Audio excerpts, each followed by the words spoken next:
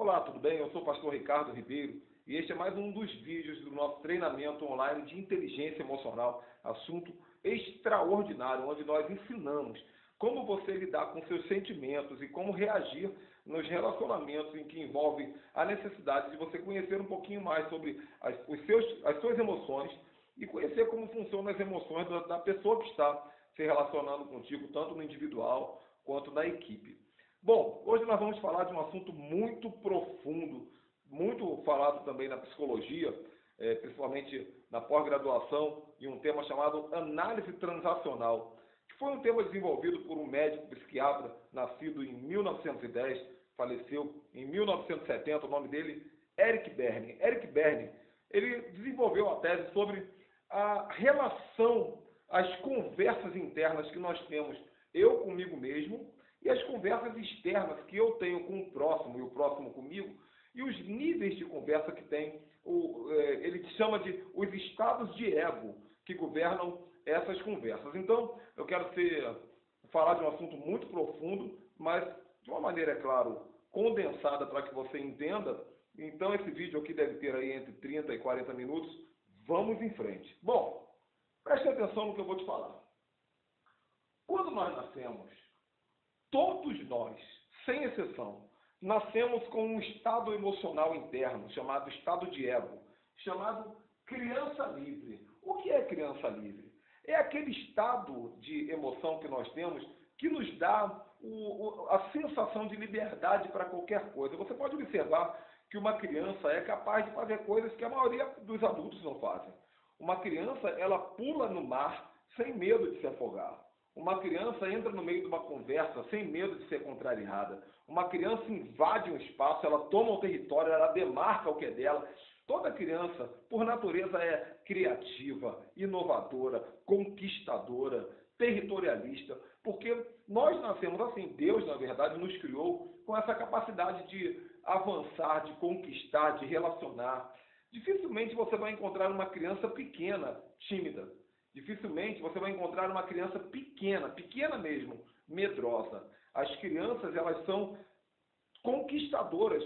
Elas entram no local, elas tomam o que querem, elas conversam, elas se relacionam, mesmo sem saber falar. Você entra num, num ambiente, por exemplo, um banco, está todo mundo calado no banco, ou, ou numa igreja, está todo mundo caladinho, e aquela criancinha de meses, ou talvez de um ano, ela começa a fazer blá, blá, blá, e ela corre, ela espalha suas coisas, porque a natureza dela é uma natureza livre. Isso é muito importante, não apenas para a criança, mas imagina se nós adultos fôssemos assim. Imagina se nós adultos, quando chegássemos em uma, em uma festa é, de família onde você conhece pouca gente, ó, você foi convidado para visitar a família da sua esposa, da sua namorada ou do seu marido, né? E você chega naquele lugar, todo mundo te olha estranho, e você, como uma criança livre, você brinca, você se diverte, você pula, você dança, você senta na mesa do meio. Então, esse estado de ego, chamado criança livre, que já veio de fabricação conosco, ele não tem a ver com a nossa idade. Apesar de ele vir conosco quando nós éramos crianças, é, com o passar do tempo, muitas pessoas elas vão perdendo essa capacidade de ser livre. Elas vão perdendo essa capacidade de, de avançar, de conquistar, de sonhar, de se relacionar, de se expor sem medo. Com o passar do tempo, nós vamos perdendo isso. Algumas outras pessoas continuam com essa maravilhosa característica e, obviamente, elas conquistam muito mais. Elas fazem relacionamentos, elas se divertem, elas fazem amigos, elas é, enfrentam obstáculos, elas não têm medo de lutar para conquistar algo, elas não têm dúvida, elas não têm dificuldade com relacionamento, porque continuam livres apesar da idade. Então, com o passar dos anos, esses estados de ego vão sendo desenvolvidos dentro de nós. Por exemplo, esse segundo estado de ego que eu quero falar para vocês, chamado pai amoroso, também chamado de pai protetor, por isso nós vamos chamar de PA, de pai amoroso, também não tem a ver com a idade, mas imagina lá, aquela criança que agora tem 7 anos de idade, e ela no convívio familiar, ela vê que o pai dela, que a mãe dela, que o professor, que o avô, que o tutor é protetor, é carinhoso, ele se preocupa com ela, ele se preocupa com os outros, e ela vai absorvendo, mesmo sendo criança, essa capacidade protetora. Ela vai desenvolvendo em si, através do espelhamento, através do, do convívio, essa capacidade protetora. Você deve conhecer alguma criança que é assim. Ela acaba assumindo a responsabilidade pelo irmão mais novo e até mesmo pelo irmão mais velho. Ela, o meu filho mesmo, quando era pequenininho, algumas vezes eu estava irritado, meu filho falava para mim assim, quando ele era pequenininho, oito anos de idade, ele olhava para mim e falava assim, pai, você está calmo? Pai, você quer um copo d'água? Olha que coisa interessante. Então, uma criança, mas que dentro dela, ela começou a desenvolver um, um estado de ego paternal, um estado de ego carinhoso, protetor, que traz para perto, que se preocupa com o emocional e com o cuidado do próximo. Então, veja bem isso, isso é muito importante.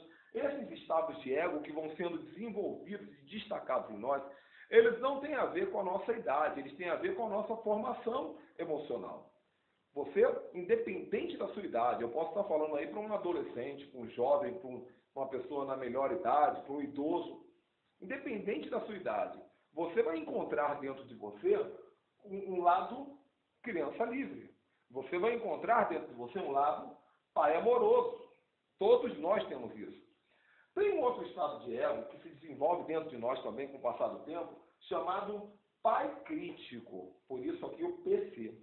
Esse aqui é aquele lado nosso, que é o lado mais ditador. Imagina aquele pai que olha para o filho e fala assim: Você não tirou nota boa porque você não estudou. Você caiu porque eu avisei para você ter cuidado e você não teve cuidado. Agora você vai ter que pagar por isso. Então, esse lado da comunicação que critica o outro, esse lado da comunicação que exorta, esse lado da comunicação que muitas vezes ele intimida, ele amedronta, ele culpa. Eric Berne, ele falou, ele chamou de pai crítico. Todos nós também temos isso. Então, independente da idade, mais uma vez eu quero deixar isso bem claro, você vai, vai perceber que tem crianças que são críticas demais. O lado pai dela é um pai, é uma hierarquia, é aquele famoso general, é aquele famoso comandante. É, o lado dele é o lado que vai olhar para outra pessoa e vai criticar, vai culpar, e vai estar tá sempre querendo dizer o porquê daquilo que está acontecendo com a outra pessoa.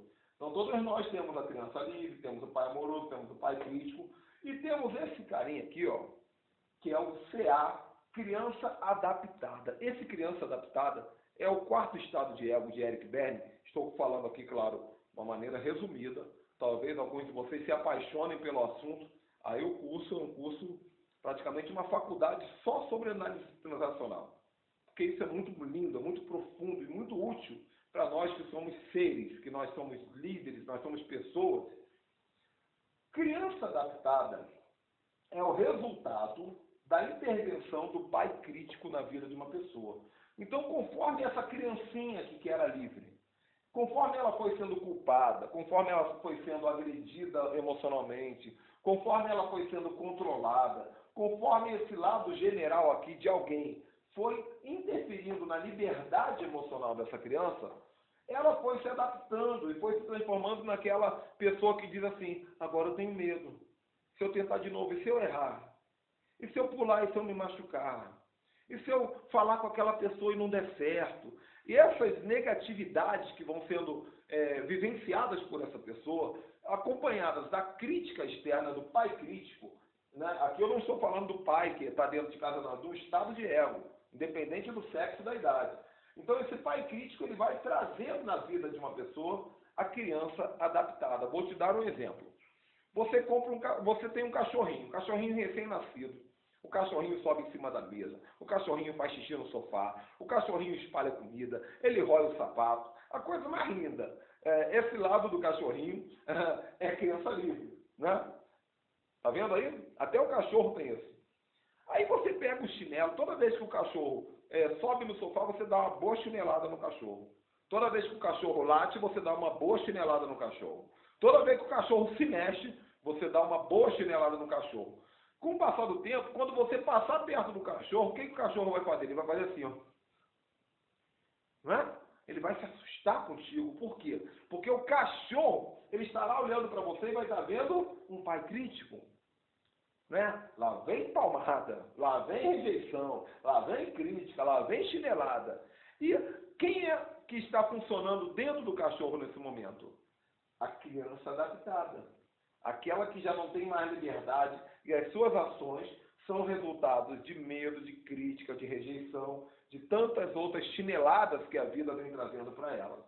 Então, nós temos, todos nós, um pouco de criança livre, todos nós temos um pouco de pai, é, pai amoroso, todos nós temos um pouco de pai crítico, todos nós temos um pouco de criança adaptada. E por fim, esse carinha aqui chama-se adulto.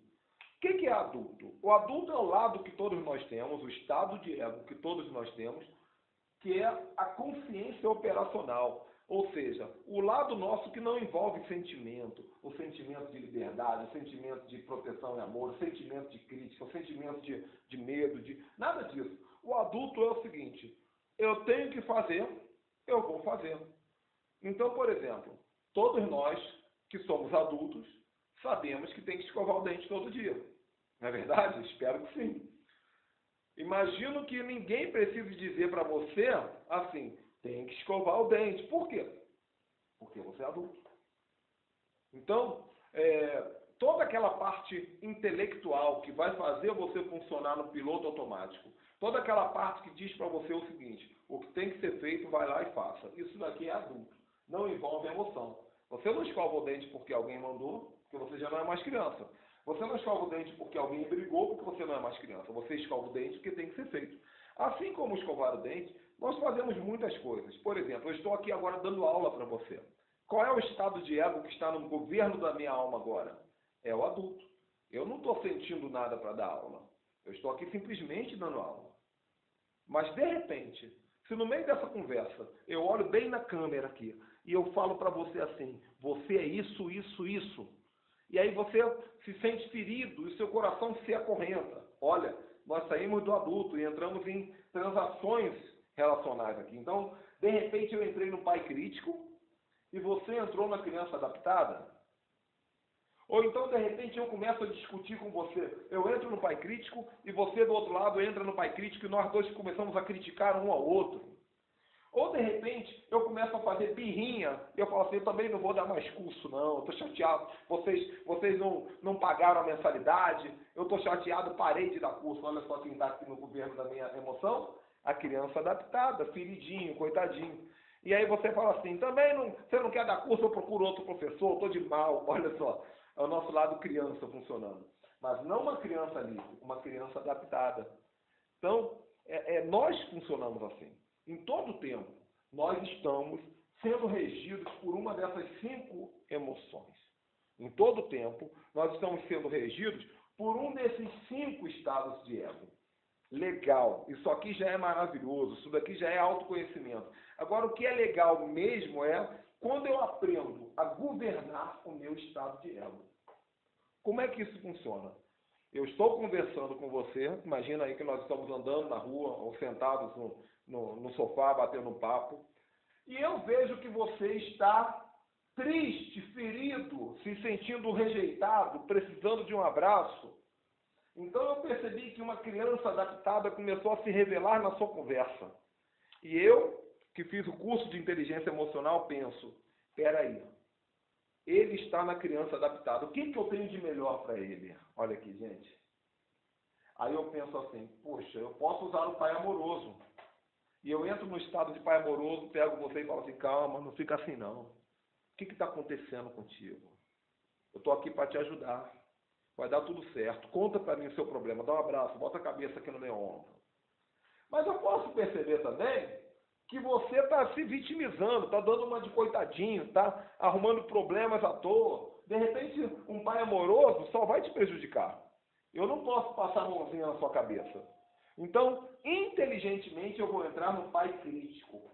Mas o pai crítico tem um lado bom também. Qual é o lado bom do pai crítico? Você está aí dando uma de coitadinho, se vitimizando. Eu entro como pai crítico e digo assim: Ó, oh, você faz um favor, meu querido, nós somos adultos, para de criancice aí, por favor, né? Vamos parar de bobagem, que a gente tem muito para conquistar nessa vida. Vamos parar de bobagem, porque tem muita coisa aí na frente nos esperando.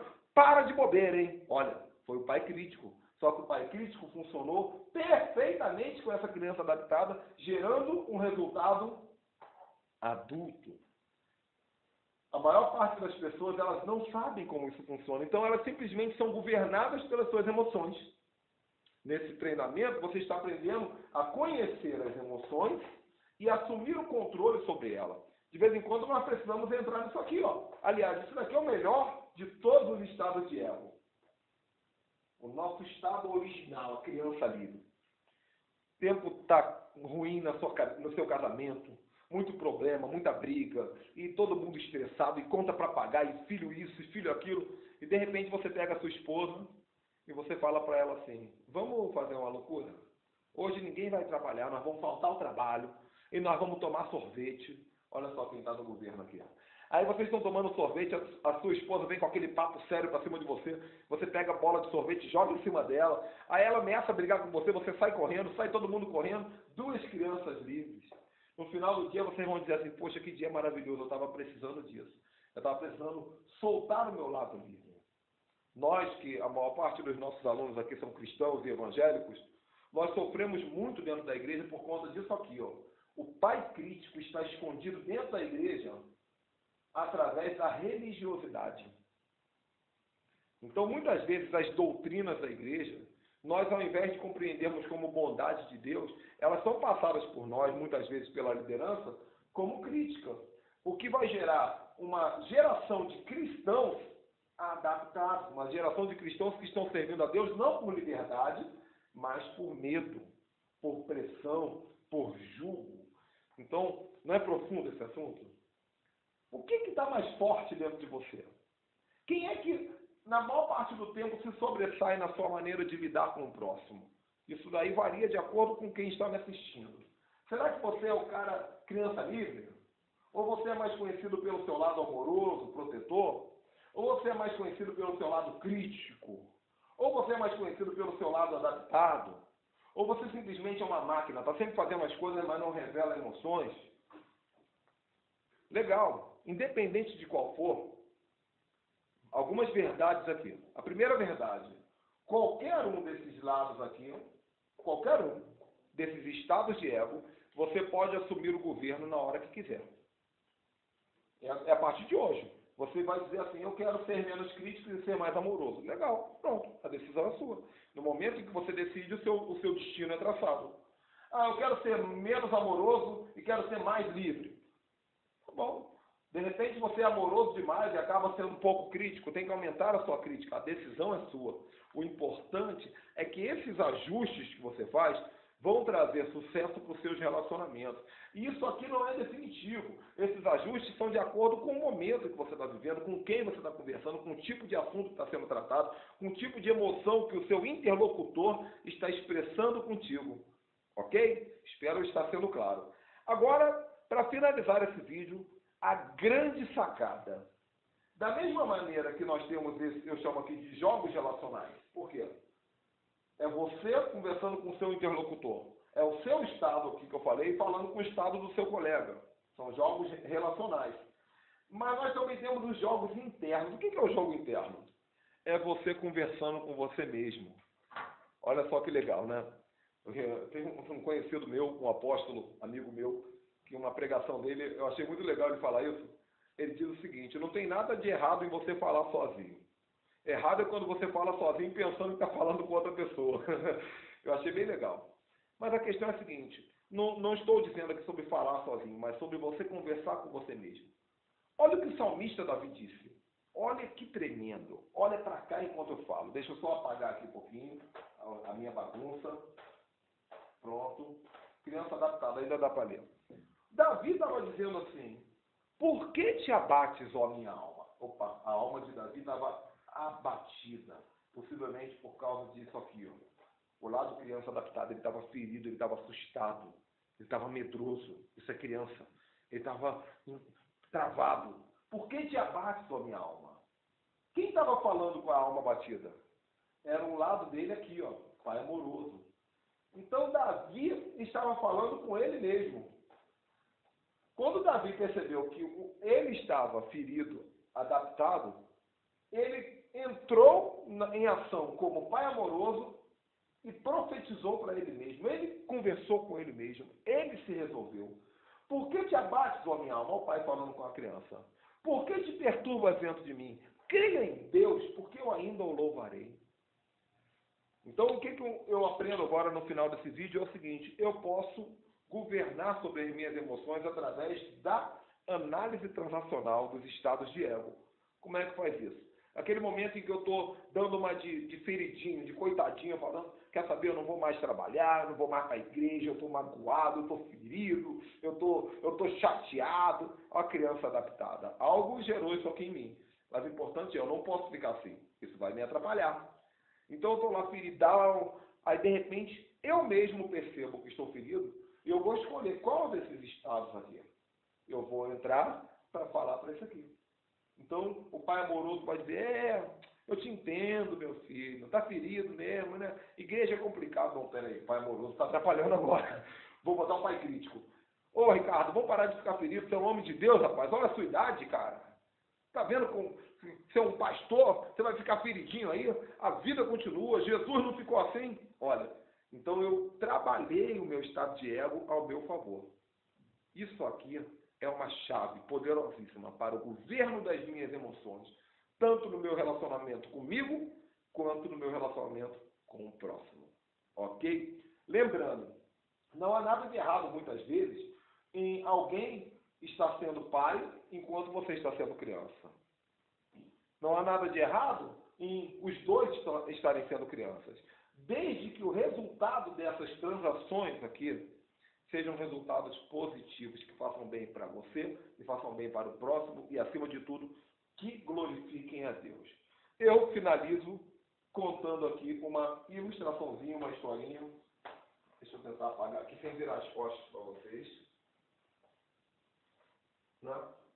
Vou finalizar aqui contando a historinha de um despertador. Ali o despertador. Vamos ver se eu sei desenhar ainda. Ó, o despertador aqui, o ponteiro, o outro ponteiro. Legal. O relógio despertador, você foi dormir e deixou o despertador montado. Você precisa acordar às 5 e meia da manhã para ir trabalhar. O máximo que você pode ficar na cama é 5h40, senão perde ônibus. Então, de repente, o despertador toca. 5 e meia da manhã. E você está deitado na tua cama e você pensa assim, deitado na tua cama, você pensa assim, está na hora de levantar. Então quem é que está falando isso? É o seu pai, é seu pai crítico. Se você não levantar, você vai perder o seu emprego. Se você não levantar, você vai chegar atrasado. Se você chegar atrasado, você mais uma vez vai mostrar que é um funcionário rebelde, você é problemático. Você tem que levantar, eu estou te falando. E o pai crítico está te avisando. Levanta, levanta, levanta, levanta. Aí de repente aquela vozinha dentro de você diz assim, fica mais um pouquinho, você ainda tem 10 minutos. Qual o problema de você ficar mais 10 minutinhos na cama? Fica 10 minutos. Olha quem está falando contigo agora é o pai amoroso, o pai protetor, ele está fazendo algo bom também. Aí, de repente, uma voz dentro de você fala assim: Ah, quer saber? Eu vou faltar, vou chegar atrasado, eu sou tão honesto, não tem problema nenhum, tem direito, eu vou chegar atrasado. Afinal, eu não vou morrer por causa disso. A criança ali dentro de você falando. Mas, de repente, uma vozinha diz assim dentro de você assim: Você não presta mesmo, hein? Pelo amor de Deus. Se você faltar, você vai perder o emprego. Eu, eu, eu, eu não sou nada. Eu estou chateado. Eu, eu quer saber, eu vou largar esse emprego. Toda vez que eu chego lá, meu patrão me olha de cara feia. E aí começa a criança adaptada, falar dentro de você. Interessante, né? Aí quando você olha para o relógio, são 6h41. Não dá mais tempo de conversa nenhuma. E uma voz dentro de você diz assim, gente, vamos parar de conversa aí, levanta e vai trabalhar é o adulto, é o operacional. Não tem sentimento, é inteligência, e você levantou e foi trabalhar. Então, assim funciona a análise transacional. É um assunto, como eu disse, muito profundo e, claro, tem muito, muito para esmiuçar desse assunto, mas isso daqui é um dos assuntos prediletos meus que complementam a inteligência emocional. Eu acho que vai ser bênção na sua vida. Espero que você tenha gostado. Até o próximo vídeo.